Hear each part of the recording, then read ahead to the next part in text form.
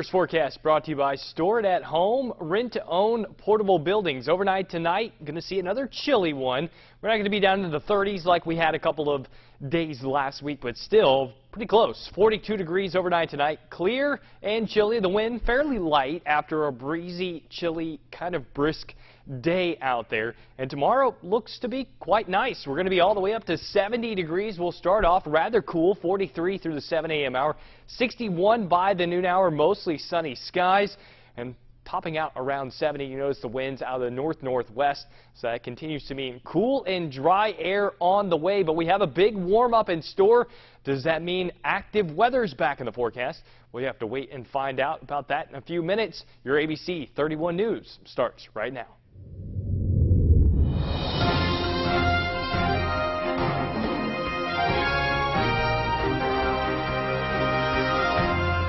Welcome to ABC 31 News tonight. I'm Scott Beadle.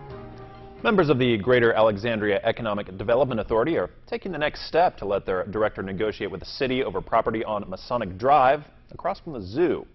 The property was cleared by GAEDA and was on the market for several years. GAEDA and the city can now negotiate the sale in the neighborhood, expected to be around $325,000. Dollar General hosted a job fair seeking people who are looking for long-term careers. Here's what District Manager Patrick West says they're looking for. We have tons of opportunity and tons of success stories within our company. We have tons of people who have started as cashiers are now store managers, and we've had them go from cashiers all the way up to my position, district manager, and even further up in the company. All of the Alexandria area Dollar Generals are hiring. If you missed out on the job fair, you can apply online or contact your nearest Dollar General for more details. A Ville Platte man is dead from a single vehicle pickup truck accident that happened over the weekend. 24-year-old William Moran's body was found yesterday in Evangeline Parish on Highway 167 near the St. Landry Parish line. Troopers say he was apparently thrown from the truck the previous day after hitting a bridge rail. Eight accused members of a gang are now indicted for a murder in Evangeline Parish. The federal indictment says those indicted are members of the Aryan Circle, which is said to be responsible for the death of Clifton Hallmark. They include 34-year-old Michael Paul Oline of Mamou, while the others are from Sulphur, Beaumont, Oklahoma, and Arkansas. The indictment says the circle is a race-based, multi-state group that operates inside and outside of state and federal prisons in Texas and Louisiana. A former prison inmate who spent part of his time in the Oakdale Federal Prison now faces charges in connection with a tax fraud scheme. John Michael McConnell is accused of filing false income tax returns totaling around $171,000. A man from Jena is sentenced in federal court to more than eight years in prison for child pornography. 30-year-old Shane Johnson will be required to register as a sex offender. Authorities say they were able to ID him as the man downloading child porn online and sharing the material. A cruise is coming to Avoyelles Parish, sort of. Women are invited out to the Ladies' Night cruise-themed relax party hosted by the Avoyelles Council on Aging. The Ladies' Night Out, Avoyelles Council on Aging. We're going to be having this in Mansura at the Cochon de Center, also called the Pavilion. It will be March 22nd uh, from 5 to 8 p.m. And you can purchase your tickets uh, at any time. All the proceeds will go toward the Senior Meals Program. Dr. Thomas Steen Trawick was the guest speaker at the Rotary Club today. The Shreveport doctor covered a topic that's had a big impact on Louisiana this winter, the flu. This year has been a, a really severe a year. We have had a tremendous uh, season, uh, mainly because of one of the strains that tends, when it predominates, it tends to cause quite a bit of uh, damage. Um, the flu vaccine is not quite as effective but it's still very important to get that vaccine because without it, you're, you're pretty much left unprotected from all the strains of the flu. We've seen a lot more cases with even more deaths. Some of the patients with uh, more chronic medical conditions, they've had problems uh, and have caused more deaths than usual. Generally, the number of cases has been much higher. The good news now, the number of cases in Louisiana has been on a steady decline lately. Flu season is not officially over until late spring, and vaccines are still available. Well, fewer crawfish means higher prices, and it might be harder to get as much as you'd like. WBRZ's Chris Nakamoto has the story. For the better part of seven straight decades, Johnny Carline has been fishing the Atchafalaya Basin for crawfish. Monday, Carline came back after checking 40 traps, and this is what he was left with. Three pounds of the savory and succulent crustaceans. Mostly seeing a, a few in the trap, about five or six to the trap, every trap, you know, like this. Lewis Kelly owns a seafood market. I'm already turning down orders. He depends on the fishermen in the basin to supply his customers with what they love. Easter weekend, we're going to be short. There's no doubt we're going to be short. The price of crawfish is going to go up, and uh, it's going to be a limit to what to what you can get. These parking spots here in the Atchafalaya Basin at this boat launch show just how high the water is. Although people familiar with the basin and people buying crawfish here say it's going to be bad for Easter week, they expect it to still be a bountiful season. Farmed raised crawfish, like the ones you see here in ponds across South Louisiana, are not affected. But many businesses, like the one Kelly runs, depend on wild caught crawfish, which is why he knows he won't be able to meet the demand that boosts his business around Holy Week and Easter. It's a time that's the pinnacle of crawfish season. I have 22 fishermen on the books, but only a handful went out and would, and they just didn't catch anything. They came in. I only bought three and a half sacks of crawfish Saturday. Although the high water is posing problems right now, they say the excess water from the high river will ultimately be good for the basin. The flow of the water is good. A lot of places are getting flushed that never been flushed in the last 20 years. And those fishing for 70 plus years know things will get better. We'll be catching at the end, you know, always do. Now to a cheerier note for crawfish fans. During each year of the spring semester, LSU of Alexandria's student government hosts a crawfish boil. Students, faculty, staff, and community members are all invited out to the campus quad to enjoy a five-pound tray of crawfish with sauce, corn, potatoes, and a drink. Along with live music, this year's entertainment was Adam Pierce, who appeared on NBC's The Voice.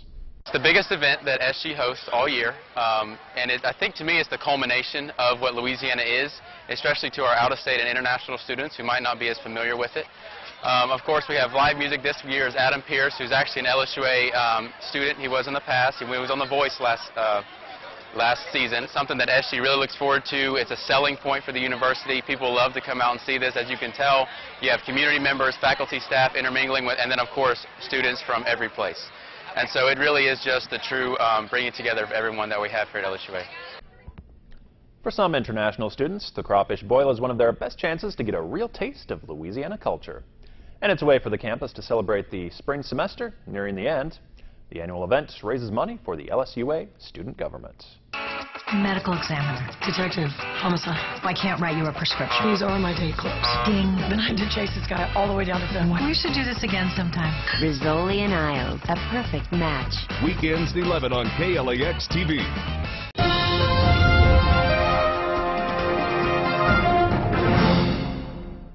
65 degrees out there in most of the state, looking at 60s today. We'd have Lake Charles get all the way up to 70. They were the, the lucky spot in the state today. Only 65 here, 64 in Natchez.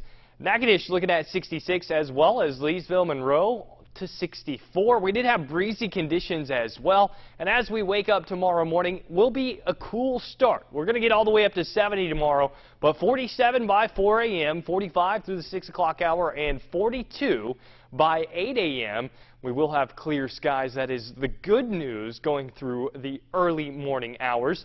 And our current conditions right now, well, 65 and sunny. So we're still holding on to the temperature right around where our high was today, occurring not too long ago. The dew point at 42. This will continue to dry over the next couple of days as high pressure moves in and dry air at that is going to be coming out of the southwest and that is always dry air. We're still got the breezy conditions, winds out of the northwest at about 14 miles per hour. The visibility all clear. Looking at our radar, well, not much going on. You got to look all the way up into northern Alabama where the severe weather was going on yesterday, and they're just seeing a couple of showers up that way. But here, all dry and all is clear off to the west. That will continue to be the case over the next several days. Not likely to see any change as far as active weather goes for at least a couple of days. Partly sunny for the day tomorrow. Still kind of cool, but we will get all the way up to 70. Then it's going to be beautiful for our Thursday. Partly sunny and very comfortable. Dew points will still remain low, but we'll have those temperatures creeping up into the mid 70s, so it'll be very, very nice to be outside on Thursday. And Friday, more of the same nice weather, a little bit warmer. We'll eventually be getting pretty warm as we head into the weekend. Cool and brisk across the southeast.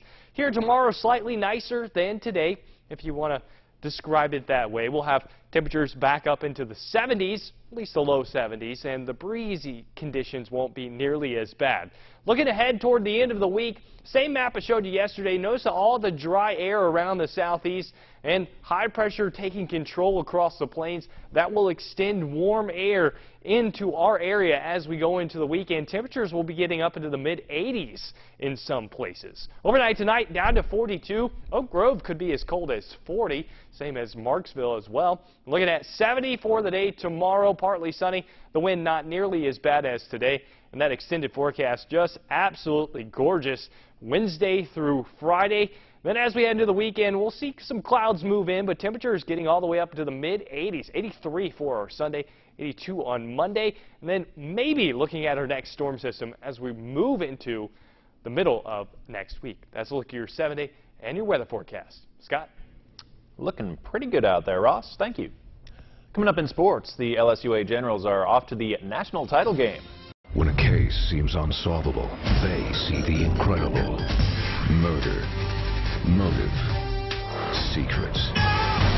Bones, weekends. Watch Bones, weekends on KLAX ABC 31.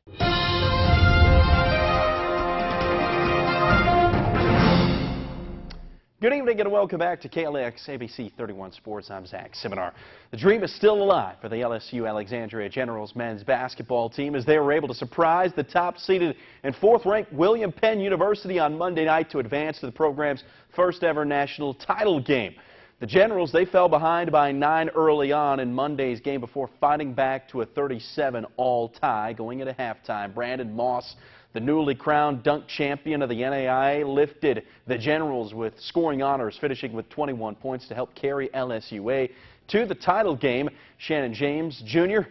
He averaged or added 16 in the win as the Generals will need a repeat performance by all involved if they want to bring home a national title. They play Graceland for all the marbles tonight. We'll have more on that title game coming up tomorrow.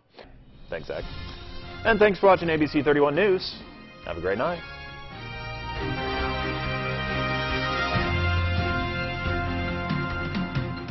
Good morning, Central Louisiana. Good morning, America. Look for your local weather updates during GMA. Brought to you by LSUA. Find your way to A. Only one doctor brings health right to your home. Every day is a new chance for change, and everyone can start right now. Make an appointment with Dr. Oz. Check in for your daily checkup.